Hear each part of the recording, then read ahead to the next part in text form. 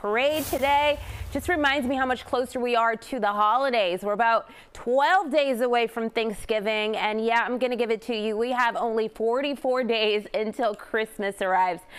Heading back to the top of our headlines, we do get through the start of today, but also this weekend with those clear and crisp temperatures. We're looking at a high in the 40s and 50s for today. It's going to be all in all a beautiful uh, Veterans Day. So if you're going to be out at the parade, just making sure to grab a few layers because you're going to feel that chill, chill in the air. We'll get through tomorrow quite beautifully as well. In fact, we roll over into our upcoming work week with plenty of sunshine, but those cool temps will stick around for a few days. And yes, we will possibly be right back to rainy filled weekends. Not the case this weekend. This is weekend number two where we have uh, broken that wet trend. Temperatures very close to seasonable. We're looking across our boroughs where we're expecting to be in the low to upper 50s across the region. Satellite and radar is looking pretty decent. We don't really have anything happening here. Those mostly dry and clear conditions.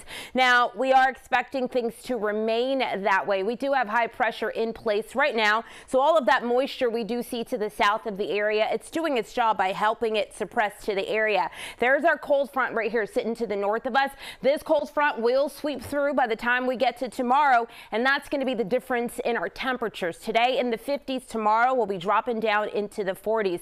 Now our air quality index looking pretty good for today. We're in that good zone, in fact. Our air quality index number at a 38. Pollen count hasn't really been an issue uh, this season. In fact, we've been on the low side for quite a few weeks, but that culprit does still continue to be our ragweed. So while our highs are expected to be in the 50s for most of the area today, take a look at what your evening will look like. If you do have plans on being out and enjoying your Saturday night, I'm letting you know now, you are not only probably going to need a coat, but some sweaters and long sleeves under those as well. We'll be waking up tomorrow morning with some pretty cool temps as well. Cool, but also clear in the 40s once again and most of us will manage to stay in the 40s throughout the day. There is a look there when we leave back those uh, chilly and breezy conditions today. We are expecting to be cooler once that front does pass.